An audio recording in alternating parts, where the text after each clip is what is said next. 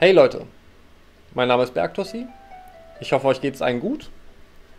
Wir wollen uns für das Horde-Event bei dem Festungsbau nochmal ein anderes Design anschauen.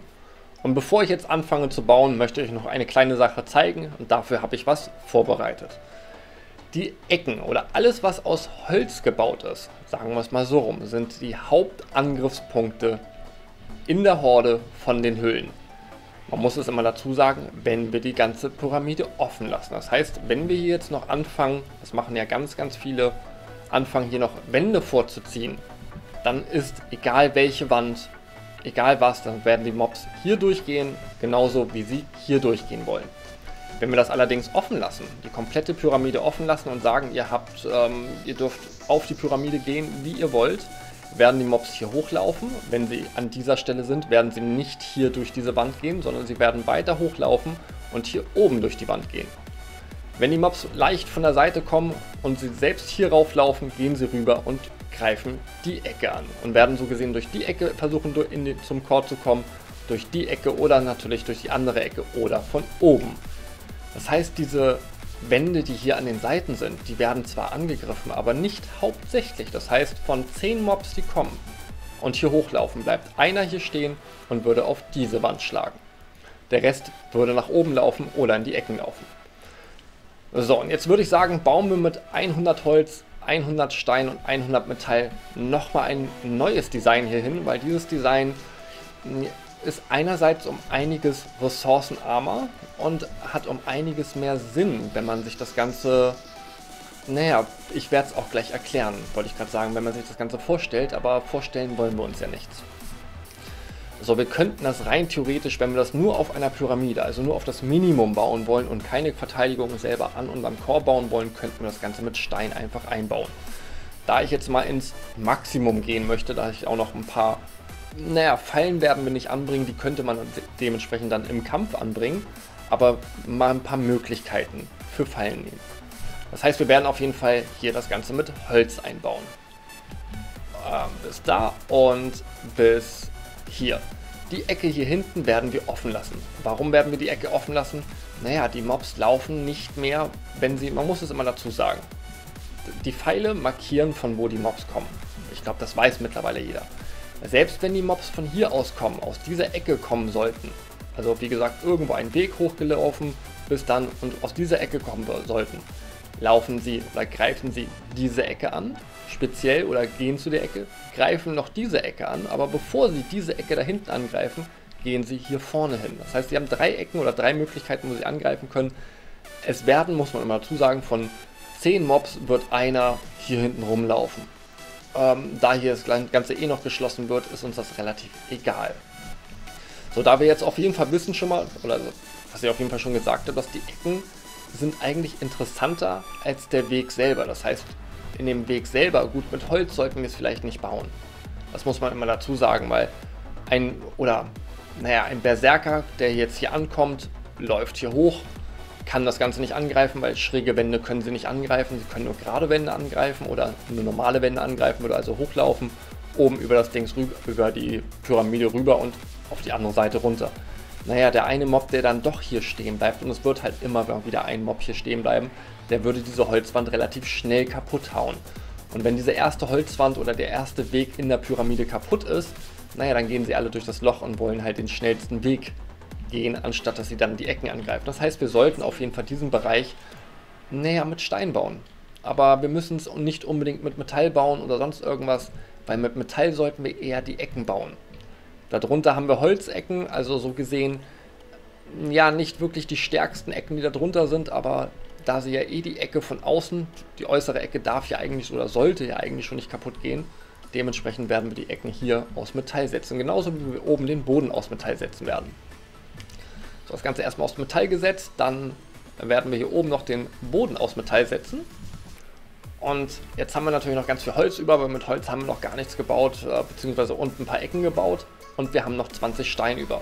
Jetzt orientieren wir uns erstmal, aus welcher Richtung sie kommen. Sie kommen von einmal aus der Seite und von der Seite. Das heißt, wir werden auf die Seite, und zwar auf die gegengesetzte Seite, Türrahmen aus Stein setzen. Genau zwei Stück, mehr können wir nicht setzen, dann bleibt diese Seite offen wäre auch egal, selbst wenn ein Berserker kommen würde, der würde immer noch hier hochchargen, hier längs chargen, hier durchchargen und hier rüber chargen. Das heißt, die komplette Pyramide, egal wo er längs geht, egal wie er kommt, er würde immer über das Ding rüberlaufen. So, jetzt wollen wir aber noch ein bisschen mehr Verteidigung auf das Ganze raufbringen. Oder sollten wir auf jeden Fall. Jetzt werden wir erstmal uns natürlich oben, hier oben kommt natürlich auch nochmal eine Metalldecke drauf. Das heißt, man muss es immer dazu sagen, wir können hier eine Verteidigung, also hier Wandpfeil oder Wand, äh, eine Wandbodenkatapultanlage, was auch immer, ähm, nee, Wandbodenkatapult nicht, aber eine Bodenfalle hinlegen an die Stelle. Wir können hier unten eine Bodenfalle hinlegen, wir können hier oben ein Deckengas anbringen. Das heißt, die Mobs, die versuchen von hier aus durch den Boden durchzugehen, werden auf jeden Fall von unten aufgespießt, von oben vergast. Naja, und die Mobs, die durch die Ecken gehen wollen, die haben bis jetzt noch keine Verteidigung. Allerdings haben sie die, die ist am schwierigsten. Sie haben Metall. Hat natürlich um einiges mehr Leben, muss man immer dazu sagen, als Stein. So, jetzt wollen wir aber auf jeden Fall diese Steinwände für diese 1, 2 Mobs, die immer wieder hier hochlaufen und die auch immer wieder hier stehen bleiben werden. Da können wir leider nichts gegen machen, wollen wir auch noch diese Steinwand ein bisschen verteidigen. Ist natürlich kein Problem wir setzen einfach nochmal zwei Wände raus. So, jetzt könnten wir da oben nochmal eine Deckengasfalle würde nichts bringen. Also wenn der Mob hier steht, würde die Deckengasfalle noch auslösen. Wenn der Mob hier steht, würde die Deckengasfalle nicht mehr auslösen. Allerdings könnte man da oben einen Reifenstapel ransetzen. Naja, der Reifenstapel würde den einen Mob, der hier steht, auf jeden Fall töten. Und alle weiteren Mobs, die jetzt noch kommen, haben keine Möglichkeit mehr hier längs zu laufen, also würden sie sowieso auf die Ecken ausweichen. Gut, die Ecken haben wir noch nicht verteidigt. Könnten wir rein theoretisch auch noch. Da wir das Ganze aber erstmal schön symmetrisch bauen wollen, können wir uns natürlich unsere Wände natürlich bis hierhin rausziehen, weil wie gesagt, die Mobs werden von da kommen, die Mobs werden auch schräg hier rüber laufen, sie werden von da hinten kommen und auch schräg hier rüber laufen. Also sollte man natürlich überall diese Reifenstapel in allen Winkeln schon mal haben. Man muss immer dazu sagen, wenn ein Berserker kommt und hier liegt ein Reifenstapel, der, der chargt an, der ist immer noch in der Charge-Animation. Er wird hier auch nicht stehen bleiben, sobald der Reifenstapel verschwindet. Chargt er weiter. Entweder kommt er dann hier zum Stehen oder irgendwo hier zum Stehen. Naja, und von da aus wird er dann, weil er hier in der Base stehen würde, würde er dann langsam anfangen, in der Base anzugreifen. Aber so weit sollte er eigentlich gar nicht kommen. So, wenn wir die Ecken natürlich auch noch schließen wollen, können wir das Ganze natürlich auch noch machen und könnten sagen, alles klar, wir haben ja noch genug Holz, wir wollen nochmal hier an der Stelle nochmal Holz anbringen, also nochmal ähm, nochmal oben, wie gesagt, oben Holz, da Holz drauf, da Holz drauf, da hinten Holz drauf. Und damit könnten wir dann einfach nochmal sagen, packen wir nochmal Reifenstapel dahin und dementsprechend würden auch die Mobs, die in den Ecken sind, ähm, sterben. Was man natürlich, ja, was man natürlich eigentlich möchte, dass wir dass die nirgendwo rumstehen und nirgendwo was machen, aber das Ganze sparen wir uns. Wir werden erstmal mehr Verteidigung auf die Hauptlinie bringen. So, wir werden hier noch ein paar Wände anziehen. Jetzt denken sich ganz viele so, warte mal, das ist doch völlig schwachsinnig, was du da machst, ähm, das da rum. So, da wird eine Wandpfeilschussanlage hinkommen, da kommt eine hin, da kommt eine hin und da kommt eine hin. Hier kommt eine Spitze, also eine, ähm, was auch immer, egal was man da hinbaut, ob es jetzt Spitzen sind, ob es ähm, also so, so, ein Bodenstachel ist, ob es jetzt ein Bodengriller ist, ist ganz egal. Oben drüber kommt eine Deckengasfalle.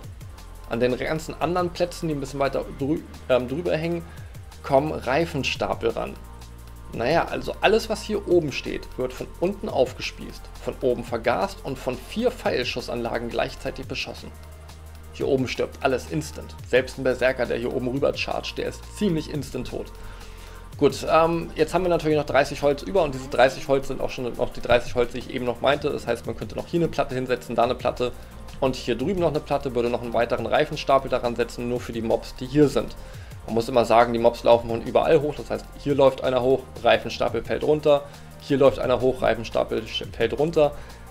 Nur mal angenommen, es würden überall Reifenstapel liegen. Die Mobs würden hier vorstehen und warten, dass die, Mob, dass die Reifenstapel endlich weggehen, damit sie dann endlich weiterlaufen können und dann endlich die Ecke angreifen können, beziehungsweise endlich oben die Platte angreifen können.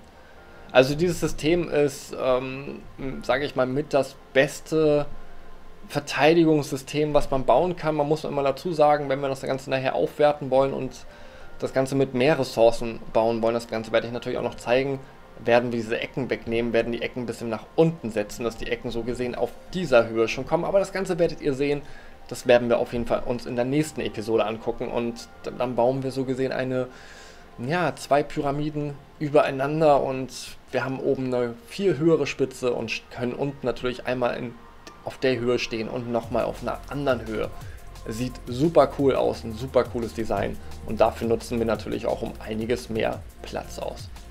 Leute, ich danke fürs Reinschauen. Wir sehen uns auf jeden Fall im nächsten Gameplay.